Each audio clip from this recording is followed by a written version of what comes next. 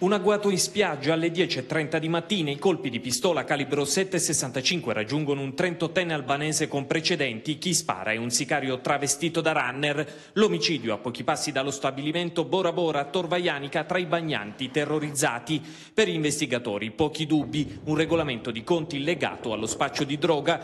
E poi nelle ultime settimane due incendi devastanti su cui vengono aperte inchieste. E una notte di fine agosto ad Ardea va a fuoco un deposito di pneumatici distrutti, otto capannoni. Dieci giorni prima altre colonne di fumo denso ad Aprilia. Nella zona industriale le fiamme inceneriscono il centro rifiuti Laos. Roghi dolosi, omicidi, spaccio, nuovi equilibri della criminalità organizzata e occupazioni abusive in un territorio che conta oltre 200.000 abitanti e che racchiude quattro comuni, Pomezia, Ardea, Anzio e Nettuno, il litorale sud di Roma. Ed è proprio qui a Pomezia che per accendere un faro è stato convocato per la prima volta il Comitato Provinciale per l'ordine e la sicurezza pubblica. Sono stati focalizzati alcuni problemi prioritari, d'accordo con i sindaci che portano il contributo di conoscenza del territorio.